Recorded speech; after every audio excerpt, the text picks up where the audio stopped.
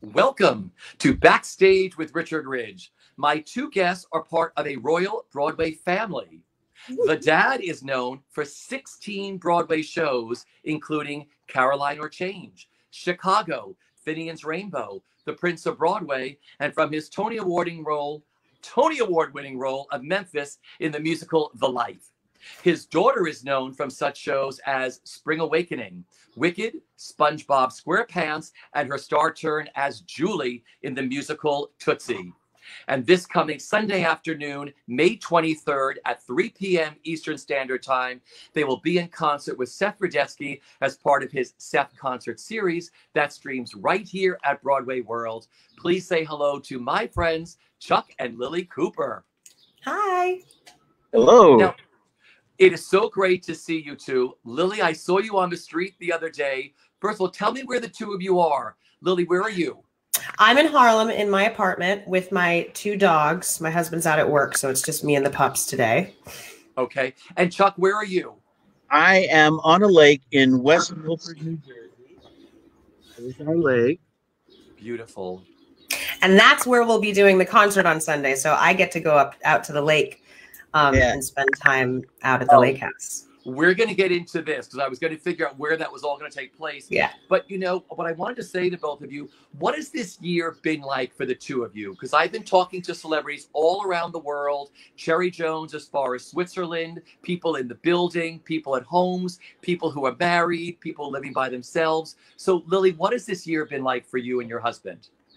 Yeah, well, this year has really been focused on the fact that we're bringing a new life into the world. Um, because we found out like in the very beginning of January.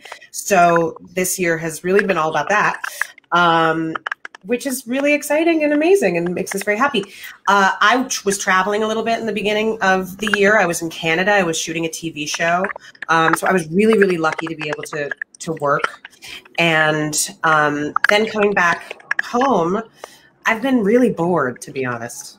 Very bored. You know, trying to stay busy any way possible. I'm teaching master classes and doing voice lessons and stuff, which I love. Um, you know, concerts here and there, uh, but just trying to stay busy and, you know, not go crazy. Well, I want to congratulate you and your husband, Paul, because you have a baby boy coming very soon, right? Yeah, we do. We're expecting in September. Congratulations. Okay, Chuck, how excited are you? Uh, I, I can barely contain myself. Uh, you know, my I often say when I'm talking about my children that my cheeks are sore from smiling. Well, now they, they ache. They ache. I'm just like, I'm so happy. it's like it's That- it's like, uh, how- That is so you great. That- yeah, it's just like it's a happiness that you can't uh, describe. There's no words for it. That's beautiful. well, listen, this coming Sunday afternoon, May 23rd at 3 p.m. Eastern Standard Time, you'll both be doing a concert together with Seth Rudetsky as part of his Seth concert series that streams right here at Broadway World. How excited are the two of you? Oh man, I'm really excited. yeah. We've sung fun. together a few times. We've done a few concerts, um, usually with my brother Eddie. Uh, we call ourselves the Cooper Clan.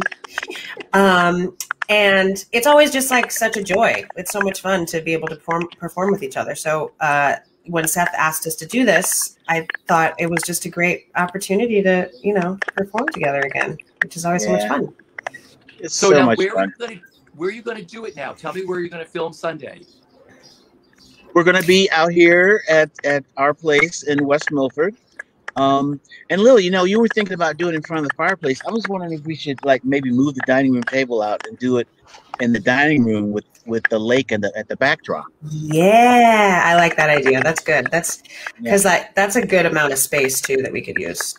Yeah, yeah, So, yeah. We're gonna be out here in West Milford, which is about an hour from Manhattan. It's not too far. See, I love this.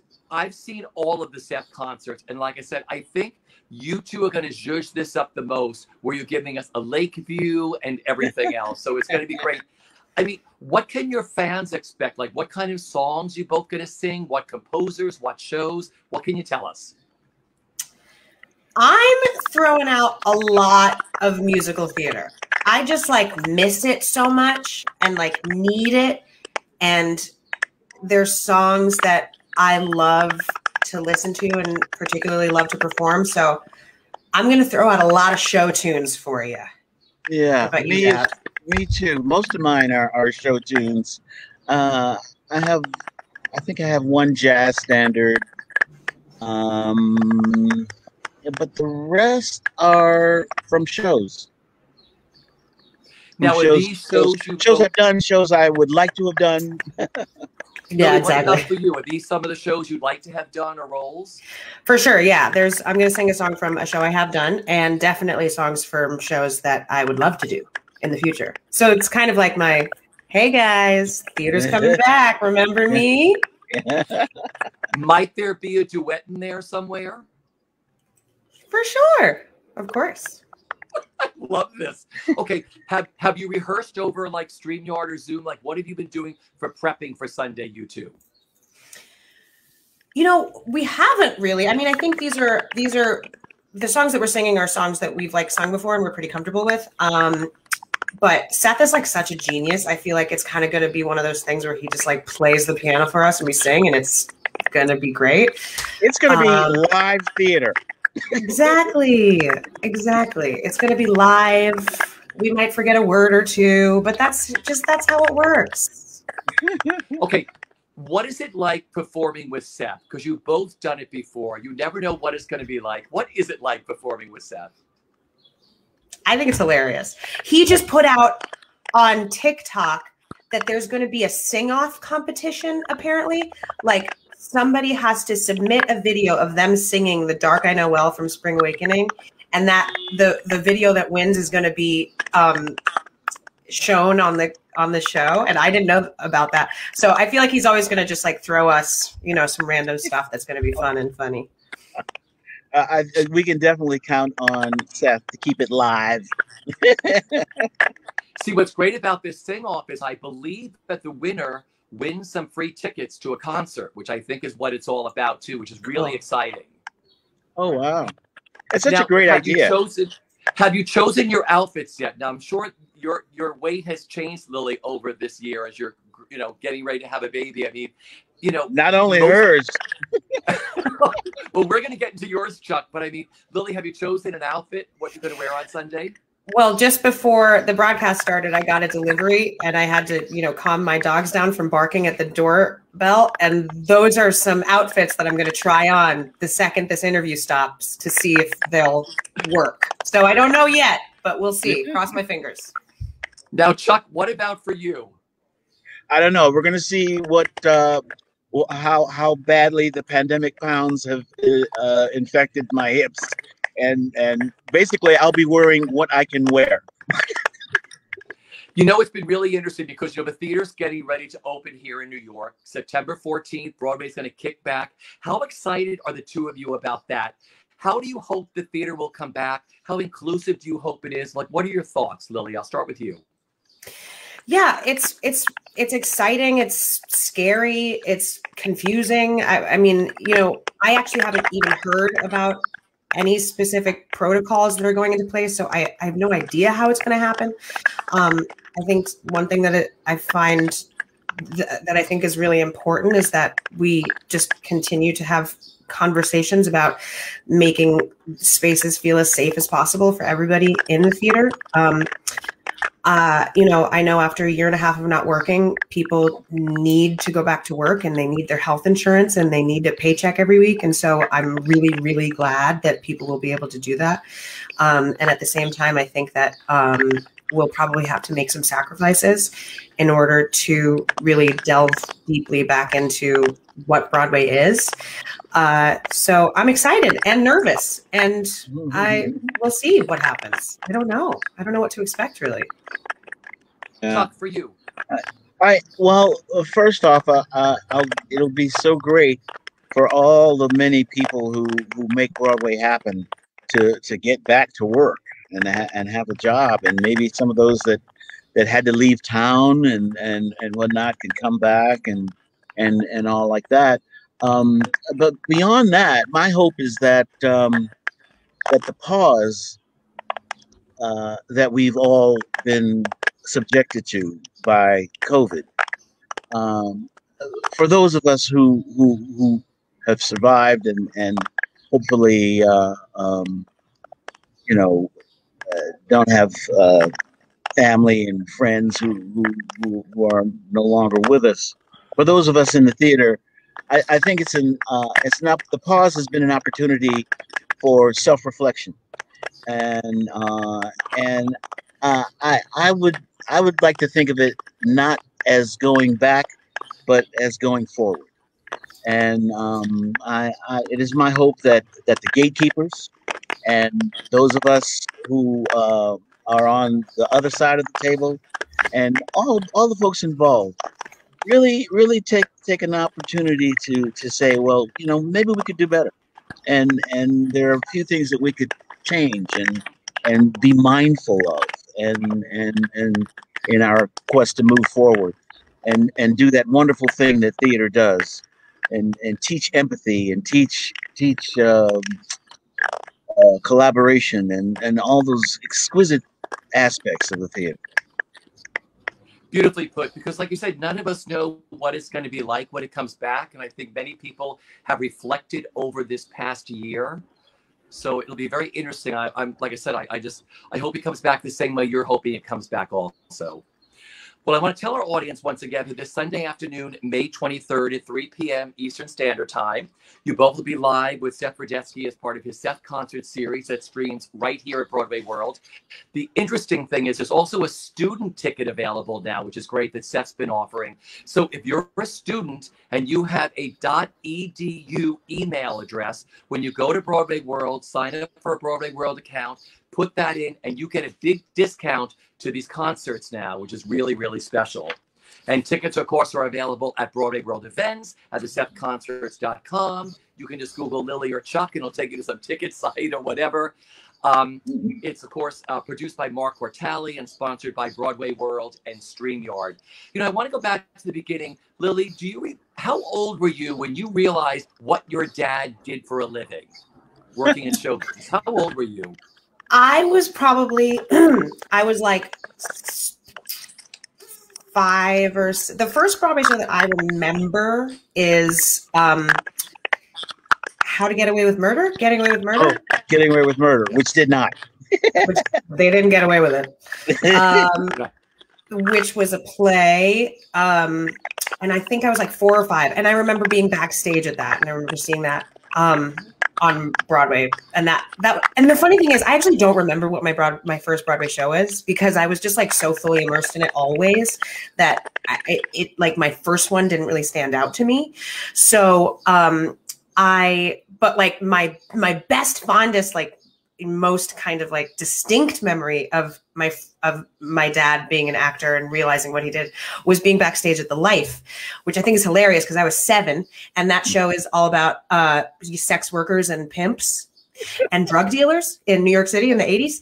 And so so I was like little 7-year-old walking around backstage like doing my homework underneath his dressing station and, and all the ensemble women like in their you know, booty shorts and crop tops, walking around being like, "Hey, Lil, you want to come hang out with me?" You know, it was, and it was just a dream. It was so fun. I looked up to all of these women, and and I think secretly, even though I was super shy as a kid and I really didn't start performing till later, that's when I realized that that's what I wanted to do also. that is great. You know, Nicole's going to mute me and unmute me because I think the sound issue is from my lovely Verizon here in the very Manhattan Plaza. So I'm going to ask you a question, then she'll mute me, then I'll come back. Chuck, okay. I want Broadway debuts are very, very important, especially for both of you. I want to start with your dad. Chuck, yours was in Amen Corner. Tell me what that meant to you. what you remember about your debut. Nicole, you can you ah, Amen Corner. That that goes back more than a few years. Um, what was that like? Uh, it, it's hard to describe. I I, I got the job uh, from an open call. Uh, back in the day, before cell phones, before computers, you would get a, a copy of Backstage or Showbiz, but most of us did Backstage. It was better than Showbiz probably shouldn't say that. Anyway, so um, you know, and it would ha- list the auditions, and I went in. You know, there was a, they're doing this Amos and uh, Amen Corner, this James Baldwin, uh, based on James Baldwin's play, and uh, um, you know, it was a musical version of, of the play, and and so I go to the audition. I sing. I don't know what I, I probably sang whatever I always sang back then, which you know something terrible like if I were a bell or something, you know. and so uh, and then I got I got a call back like that day.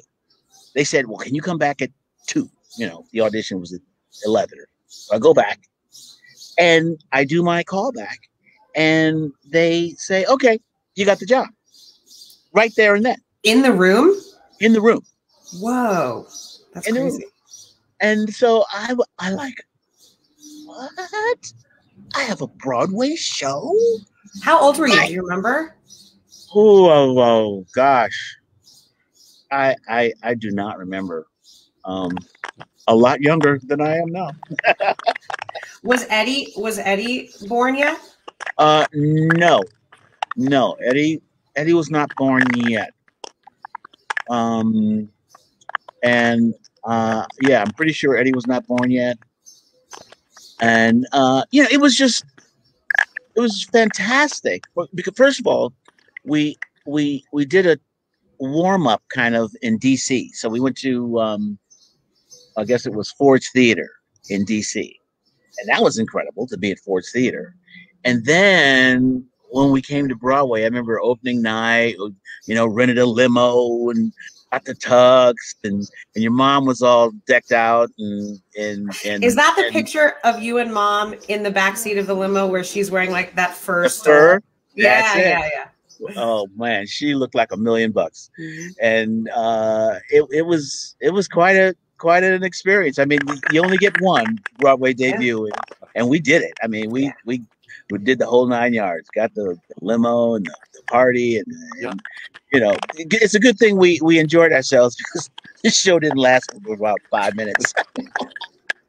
Uh, I saw Amen Corner though, just so you know, I saw it. So what I'm gonna do is when I put my finger up like this, Nicole can unmute me, and then you know, then I'll I'll let you answer. Lilli, yours of course was as Martha in Spring Awakening. How magical was that role and that company of actors? Nicole, you could mute me. um, that was such a wild, surreal experience because I was a teenager and I was in high school at the time.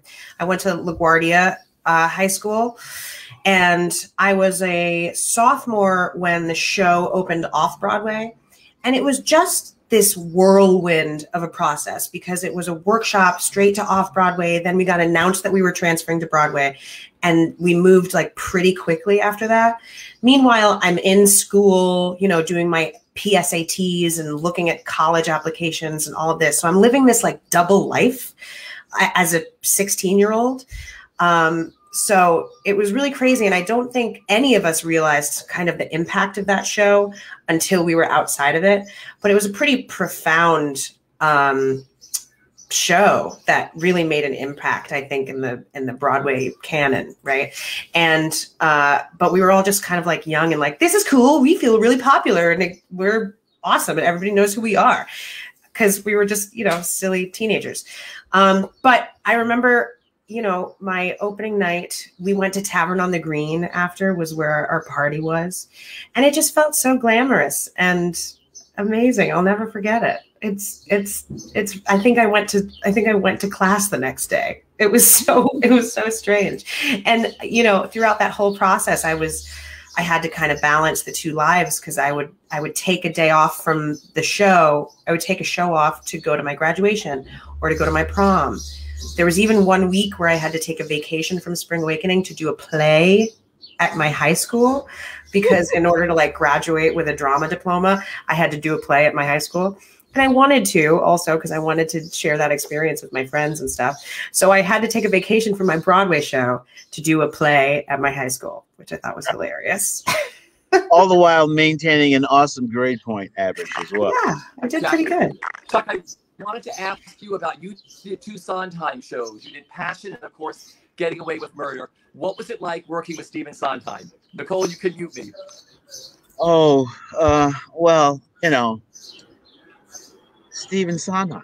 Uh, my God, you know, the Stephen Sondheim of the American theater. What can I say about that? Um, well, first of all, for Passion, I didn't really work with Steve because I was a swing and Passion. I came into the show after they had opened, after you know folks had started taking their vacations and leaving the show and whatnot. So I came in as a swing, covered six tracks. I think I went on for four of the tracks, and that was where I learned that the swing is the hardest working job in show business.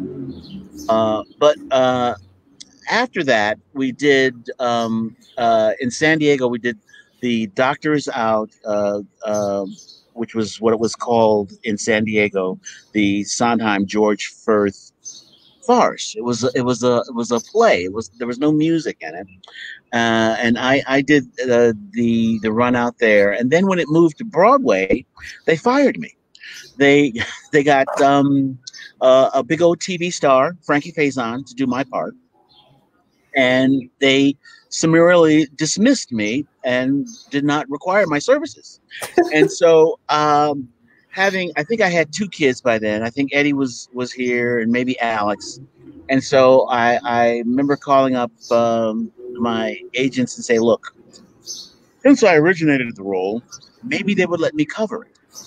And so um, I they called and uh, Jack O'Brien was amenable to that.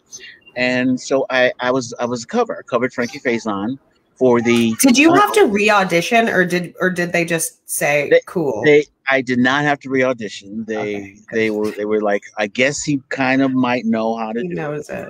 it. so they, uh, the, that- that show though is my favorite showbiz show because there's such great stories from that show. Um, uh, on the Broadway run, one night, uh, at the end of the first act, John Rubinstein, who's one of the stars of the show, who plays this psychiatrist who ha- has as his clients the seven deadly sins. Uh, his his clients are personified as seven deadly sins, and he just he just can't stand these people. And so, in, in in a fantasy, at the end of the first act, he takes out a revolver and shoots six of them. Right.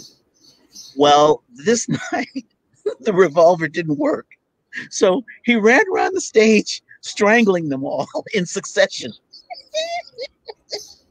and when he got and when he got to the last one, when he got to Kandis Chappell, she just fainted dead away. She just said, "I'm not doing that." She just fainted. so, um, you know, as I, I always, I always like to say, that that- this that show, uh, "Getting Away with Murder," did not get away with murder. I love it. Nicole can unmute me now. Let me unmute. So I want to ask you, Lilli, about Wicked. You have quite a history with Elphaba. Do you remember the first time you were painted green and the first time you went on? Mute me away. Oh yeah. So uh Wicked was Wicked was such a gift because I, I booked that show right after college. Um and I went on tour where I was the understudy. So I was in the ensemble every night and I was the second cover for Elphaba. So the very first time that I got painted green and the very first time I performed the role, like for anybody really, was my put in rehearsal, which is basically for people who don't know, my full technical rehearsal with all the costumes and lights and set changes and everything, and the entire rest of the company is also there. Um, and I remember going up like on the cherry picker in Defying Gravity, and all of my friends in the ensemble were in the wings, literally like hooting and hollering for me and filming me on their phones. And so I start crying as I'm singing Defying Gravity because it's just the craziest thing that I'm actually doing this. Like it's wild. Uh, so that was my first experience, and then in in the in the entire year that I was on tour, I actually only played it twice. Um, I think in Milwaukee once, and some other random Midwestern city, and uh, so you know I rehearsed it every day, and I was there to play that part, but I only got to go on twice. But I got a crazy call at the end of that run, which was a girl in Australia just broke her collarbone or something by riding a bike. Will you fly to Australia to like two days from now to be the standby for Elphaba? And I was like, hell yeah. So I get down to Australia and and the cool thing about productions of Wicked in I think every other country but ours. The first cover for Elphaba is the alternate, which means they do two shows a week automatically. So I went from doing two shows in a year to doing two shows a week. And for Elphaba, like that is really hard. You gotta, I always kind of liken it to a marathon. Like you gotta rev yourself up for it. You can't just wake up one day and run a marathon. I mean, you could, but you would probably regret it afterward. And doing two shows a week versus two shows in a year was a big transition um, but a great learning experience. And I mean, I have friends still today, Australian friends uh, from that production. And then after that production, I got asked to be the standby on Broadway, where I ended up going on for 10 shows in a row for one run. So it was it was really like I was really proud of myself of the way that I had kind of developed into this role because at in the beginning when I was first covering it, I sang I could sing that show once a week and then I would like practically lose my voice. And and that's kind of the process that you have to go through is it's a lot of trial and error and you have to realize how to pace yourself and like my dad said swinging is I think the hardest job in show business. I think covering in any sense, being a standby and understudy are the hardest jobs in show business. And it really forces you to be on your toes. I even had a show where I did a mid show Elphaba swap out, which was the most invigorating thing I think I've ever done in my life. Mm-hmm. Imagine you're backstage, you're a standby. You most times you're just backstage doing a puzzle or reading a book and you're not doing anything. And I get a I hear an announcement, Lilli Cooper, please report to the Elphaba dressing room. And it's about like half an hour into the show and i realized that the the woman playing Elphaba was sick that day and she was vomiting off stage. It was awful. But she was like pushing through until i could get greenified normally getting greenified takes around like 20 to 25 minutes this time it took four minutes they just literally slap on green paint throw your costume on the moment i walk into the wings i see the Elphaba playing I see the actress playing Elphaba. She sees me with this like look of relief because she just needs to get off stage. It's the switch out right before the song popular. She walks on, I walk, she walks off, I walk on, we high five in the wings, and then I walk on stage and I'm playing Elphaba. And I think the funniest thing about this is that I'm solidly five inches taller than her. So the so I, probably the first 10 rows of the Gershwin Theater were like, is this a different green person? Like, who is this one? There's another one. Um, for everyone else, it was just like, oh, it's a green lady. It's the same person. So then they announced that the actress has changed after intermission. Um, but that was the most invigorating, exciting experience I think of my entire career. It was pretty awesome. I love it.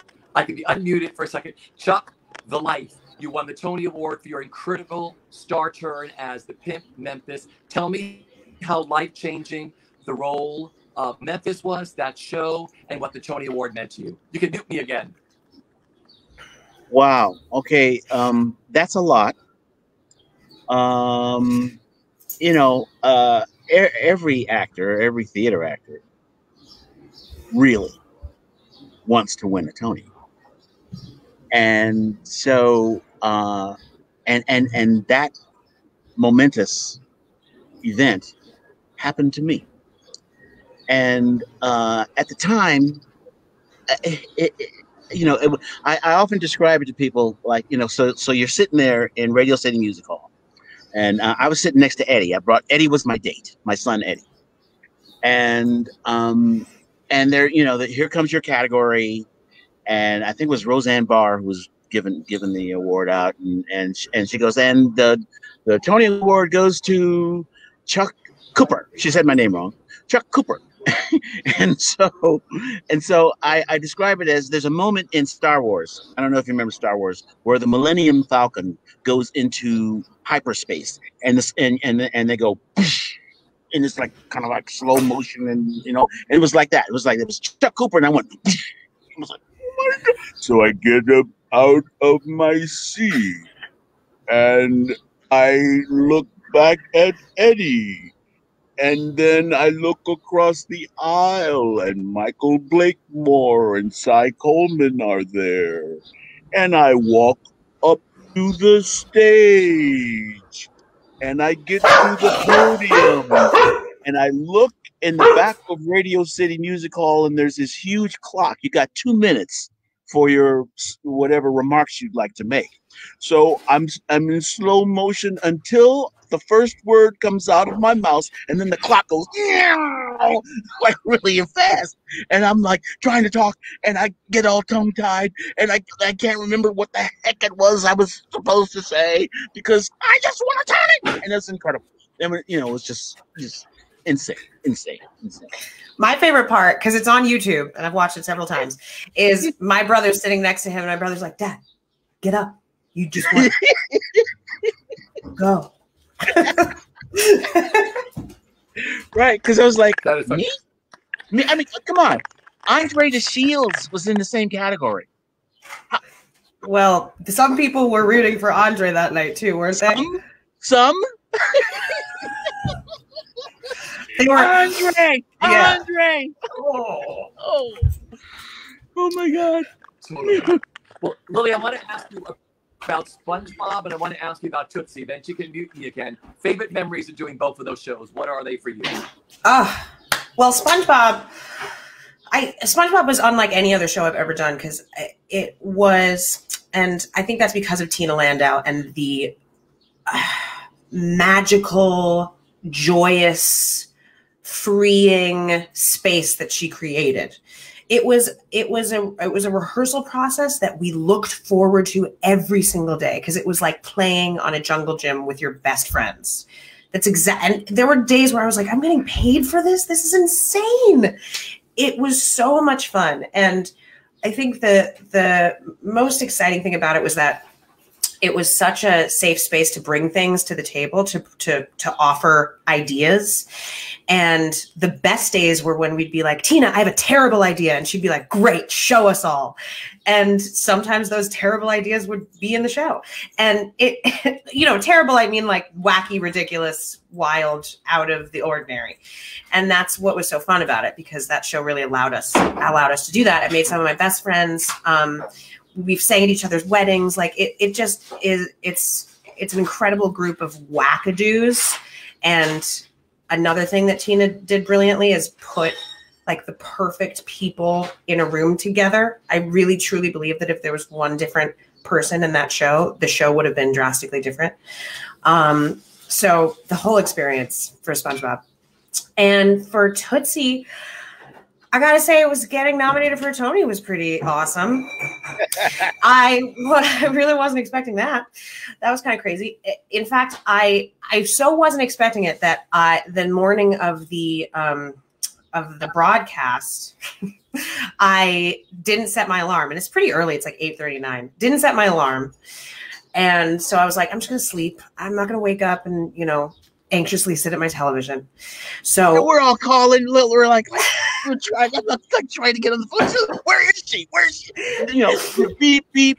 I know. I roll over and my phone's on silent, and I realize that my phone. I have like forty text messages and twenty five missed calls, and I'm like, oh, uh, that must. I guess that's a good sign. Probably not getting forty calls for not getting nominated for a Tony. So then, so then eventually, like my dad calls me, my mom calls me. They're like, Lilli, what have you been? You just got for a Tony. What? and I was like still groggy and sleepy. I was like, what are you talking about? So that was a crazy day. And then we had the show that night, which was really exciting. It's always really exciting. I, I, I remember the show after the Tony nominations for Spring Awakening was like this just explosive show. And it was the same for for Tootsie. It was really, really exciting. Um, so yeah, those are my favorite memories. Okay. Nicole, you can unmute.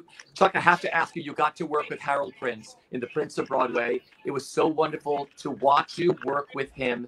Tell me what it was like working with Harold Prince and being a part of that show. You can now mute me. Oh, oh my God. Prince of Broadway himself.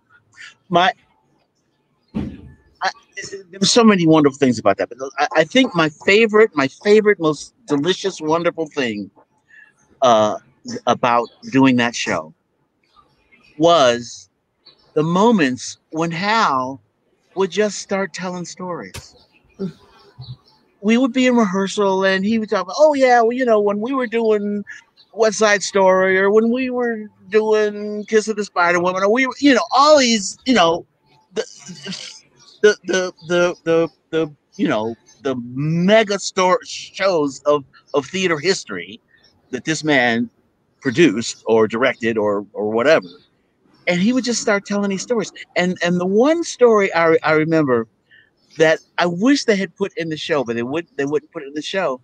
He told us that early on uh, that he started wearing glasses you know his signature glasses up on his head like that. He started wearing glasses because it made him look smart. And he knew that the suits would would respect him more if he had those glasses on. So they weren't And- prescription? No, they weren't prescription. It was a prop. That's so cool. And so, you know, we had we all had these glasses in the show, right? But they never taught they never told that story, which I thought was incredibly endearing, incredibly, you know, I mean, that's that's how he was. He thought outside of the box. He he was and there's there's never been one like him, and there will never be another one. There will, there, will- you know, no, you can't follow that act. I mean, come on. I mean, the the list of shows, the hits, the the the Tony Awards, the I mean, who's going to do that? So, um, it, and and it wound up being his last show. And uh, you know, I I I'd sit there and you know I was sharing a dressing room with Tony Yazbeck, the Tony Yazbeck, who's like crazy, incredible, talented. Um, and Hal would just waltz into our dressing room, and and we would just be kicking it back in the dressing room with Hal Prince, just you know, kicking it because he was like a buddy, Hal Prince. I, you know, I, I'll never forget what, what you know when they when they contacted me. He Hal Prince sent me an email, and it said, um, "Dear Chuck, would like to talk to you about a show. Um, give me a call, Hal Prince." Email, right? I'm like, this is who's doing this? This is not real. Okay, so I I call my agent. I go, you know, I got this email, and I'm pretty sure it's a, you know some kind of a prank or something. But just so you know, I I got this email. And they go, um, yeah, it's it's real. It's Hal Prince wants you to come by the office and talk to him about doing the show. So What if you had just like ignored that? What if you were just like, man, this isn't real? right? So I go to you know his. I think he was in it's in Rockefeller uh, Center, some some you know high rise fancy place. And I go and and you know there's Hal Prince, and he says, you know, I, I've I've watched your career, and and I and I'm I'm like, you watched my career. and and I got the show, and and you know, there's a couple of numbers I want you to do, and uh, you know, of- I want you to do um, uh, Tevye, the fiddler. I said, excuse me, Come again? you you want my black self to do Tevye? He goes, yeah, yeah, yeah, yeah. You, you can do it. You can do it. You're gonna be great. And I go, well, if Hal Prince thinks I can do it, I'll do it. and that was the most fun I had in that show. Was was rehearsing that that number with Stro and Hal and and you know figuring it all out and and being a rich man. I mean, oh my god, so much fun, so much fun, such a a wonderful, wonderful is experience. And that company, oh, oh my Listen, god, I that talk company, to you forever. oh my god, Oh yeah, the company of that show. So Preston Yeah. just told me the Verizon man is in our building. It's supposed to be fixed in ten minutes. Like I said, I could talk to you two forever. Everybody, join them on this Sunday, May 23rd at 3 p.m. Eastern Standard Time, when they will be live with Seth Rudetsky with a rebroadcast Sunday night at 8 p.m. Eastern Standard Time. And they're doing a VIP sound check at 12 noon, which I love these. I cannot wait to watch the two of you at 12 noon doing your sound check with Seth Rudetsky. They are hilarious. They are the best behind the scenes. Once again, tickets are available at Broadway World Events at SethConcertSeries.com. Lilli, congratulations to you and your husband on your beautiful arrival that's going to happen in September.